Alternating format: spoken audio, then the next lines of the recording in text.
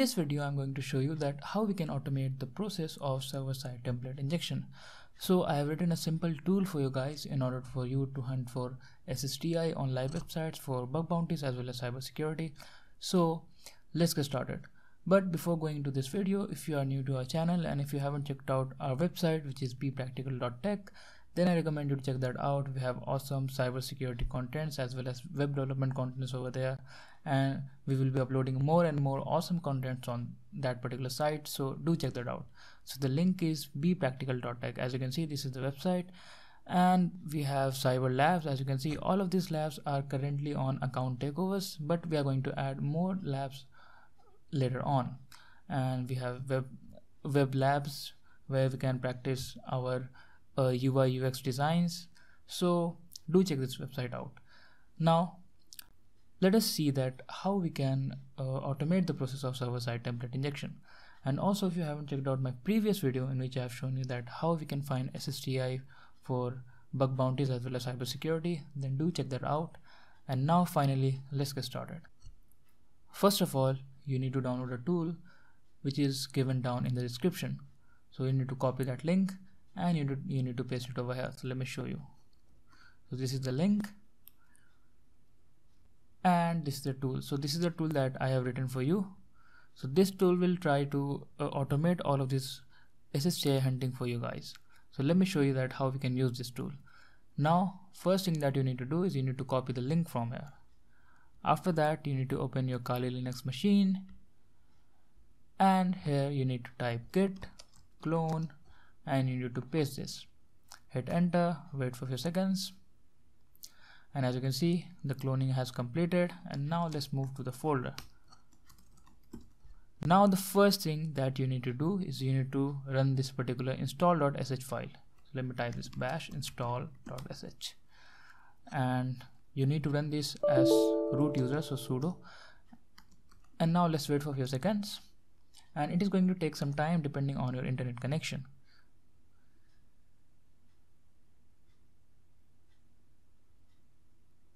So as you can see, it is showing me that installation has now completed. Now let me clear this.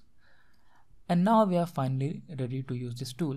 So first of all, first of all let me sh show you that how we can use this tool for our advantage. So here you can see we have payload.json file where we can add our custom payloads to uh, look for SSTI so many bug bounty hunters they prefer their own customizable uh, payloads. So we have added this feature feature as well. So you can add your own payload and this tool will work perfectly with that. So let me show you. So let me show you how we can uh, add our payload so i'm going to type nano payload.json you need to open this file in any text editor. And as you can see here is the payload file. So suppose if i want to add a new payload of my choice so right now there are only three payloads but if you want to add more you can do something like this. Payload. And here you can provide your payload. For example let's say dollar uh, 7 into 7 and you need to also provide the output. So we know that if we provide a SSTI template payload then we'll supposed to get a specific output right? Like if you provide 7 to 7 then we should get uh, 7 times 7 or maybe 49 right? So we need to do something like that for that you need to specify output. And let's say in this output we we are supposed to see uh, 49 right? So something like that. So and suppose that if you are testing on multiple engines so we know that SSTI behaves different on different engines right? So in some case it will give you 49 in some case it will give you 7777 up to 7 digit right? So you can just provide multiple output like this 777777 something like this and it will work absolutely fine. Now I'm not going to add any payload because for the sake of demonstration I'm just going to keep it for two three payloads but you can definitely add more and more payload in this particular tool.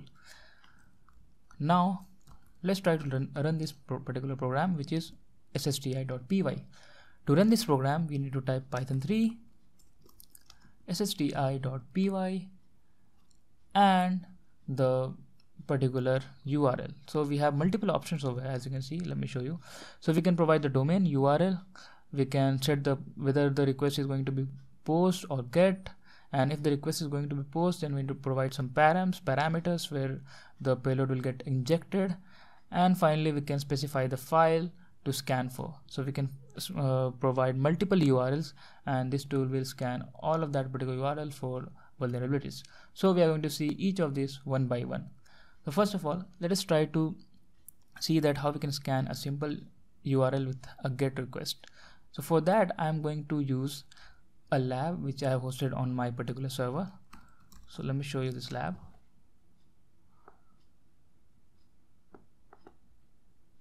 I'm just going to paste this over here. And this is the simple lab where we have SSTI vulnerability on this particular uh, name parameter. So if I type my name it will get reflected. So now let's copy this link and let us see whether our tool is able to detect this uh, vulnerability or not. So I'm going to type python 3 ssti.py minus u specify the URL and since we are uh, supposed to give a get request so I'm going to type get and here you have to type 1 that's it. Now hit enter and let's see what happens as you can see it has successfully detected the vulnerability right so this is the vulnerable payload and if I copy this and if I paste it over here as you can see the payload get executed we know that 27 times 10 equals to 270 right so SSTI vulnerability is confirmed. Now let us see that how we can identify uh, SSTI on post request, right? So for that, let's suppose we are going to uh, find SSTI on this particular web application. So now, first of all, what we need to do, you may uh, open your burp suite or you can just do something like this. So in the network tab, you have to go here and let's search for anything let's say spider-man and click on search and let's see what happens so as you can see here's the post request going on to this particular url right? So now what we can do is simply we can just copy this url on which the post request request is going. And we can type something like this python 3 ssti.py minus u. And we can paste the url minus p. And we need to specify the parameters.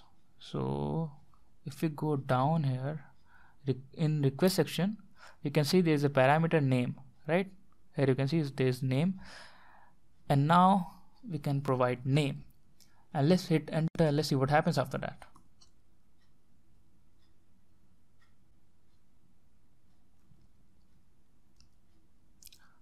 Okay sorry. So we haven't provided the post uh, flag. So we need to provide that.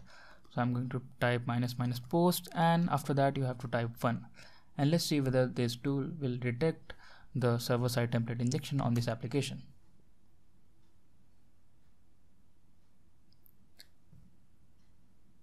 so as you can see it has detected that two payloads are currently uh, executing on that particular application. So we have this hash 27 into 10 and we have star 27 into 10, into 10 right? So let's test one of these. So i'm just going to copy one of these over here. Just copy this. And let's paste it over here and let's see what happens. Oh sorry. I need to paste that particular payload inside this parameter and let's see. So as you can see the payload also get executed. So our particular tool is working fine on post request as well. Now let us try to test this tool on bunch of uh, urls right? So i'm just going to create a couple of urls over here. So urls.text and let's say the first url will be um, like this url so currently this tool is not able to get uh, multiple url on post request. It's because i'm trying to add this feature in the new release but for now it can only scan the get request if we are providing multiple urls and in the second url i'm going to type the vulnerable one which was this so assume that we have multiple urls and now I'm going to type my name and let's see whether this tool can detect SSTI on multiple URLs. So I'm just going to type python 3 ssti.py minus f and let's provide the file name. So file name was urls.txt. Let's hit enter let's see what happens after that.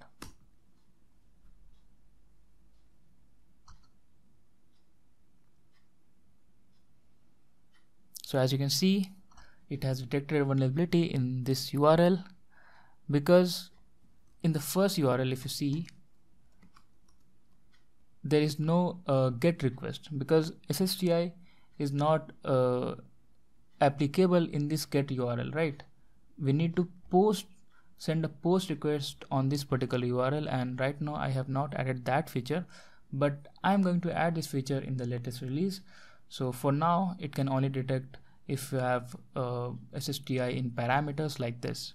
But still it is a very good tool. If you have a bunch of URLs with different parameters then you should try this tool in order to find SSTI so I hope that you have understood that how we can automate the process of SSTI if you have any doubts if you have any issues then please let me know in the comment section.